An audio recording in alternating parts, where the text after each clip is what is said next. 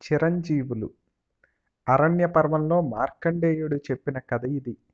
పాండవులు అరణ్యవాసం చేస్తున్న రోజుల్లో వారికి మార్కండేయ ముని దర్శన భాగ్యం లభించింది. ఆయనకు అర్ఘ్యపాదాలిచ్చి పూజించారు. కుశల ప్రశ్నలు సాగినవి. పాండవుల వంటి ధర్మపరులకు కలిగిన క్లేశాలకు ఆయన కొంతసేపు విచారించి ఇంతకంటే దుఃఖాల పాలైన శ్రీరామచంద్రుల కథ నలదమయంతుల కథ వివరంగా చెప్పి కొంత ఓదార్పు కలిగించాడు. అలా వారికి ఏవేవో పురాతన రాజవంశాల గాథలు మహర్షుల విశేషాలు చెబుతున్నాడు. ఒకనాడు ధర్మరాజు వినయంగా చేతులు జోడించి మహర్షి నాకొక ప్రశ్న వచ్చింది అని అడగడానికి సంకోచించాడు. మార్కండేయుడు చిరునవ్వు నవ్వి తెలియని విషయాలు తెలుసుకోవడం దోషం కాదు నాయనా నీ సందేహం ఏమిటి? అడుగు అన్నాడు. మహాముని మాకు తెలిసినంత వరకు మీరే చిరంజీవులు. మీరు కాక మరెవరైనా చిరంజీవులు ఉన్నారా అని అడిగాడు.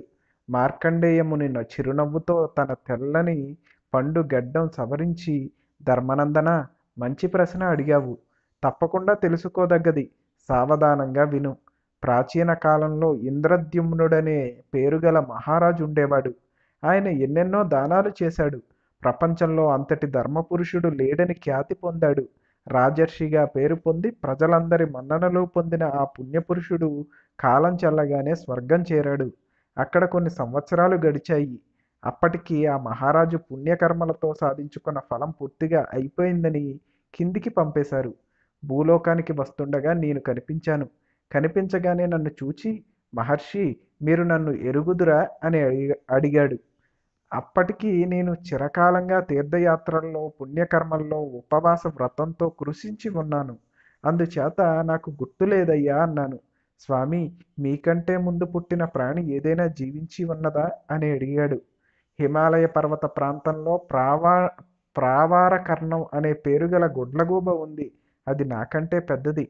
కొంచెం శ్రమ పడితే దాన్ని చూడగలవు అన్నాను. ఇంద్రద్యుమ్నుడు నన్ను వెంట పెట్టుకుని హిమాలయానికి వచ్చి ఆ గుడ్లగూబను చేరి నువ్వు నన్ను ఎరుగుదువా? అన్నాడు. తెలియదని తల ఊపింది ఆ పక్షి. అయితే నీకంటే ముందు పుట్టిన వారిని ఎవరినైనా ఎరుగుదువా? అని అడిగాడు. అయ్యా ఇక్కడకు యోజనాల దూరంలో ఒక సరోవరం ఉంది. దానిని ఇంద్రద్యుమ్న సరోవరం అని పిలుస్తారు. ఆ కొలనులో నాడీ జంగం అనే పేరు గల ఒక కొంగ ఉంటుంది. అది నాకంటే పెద్దది అంది.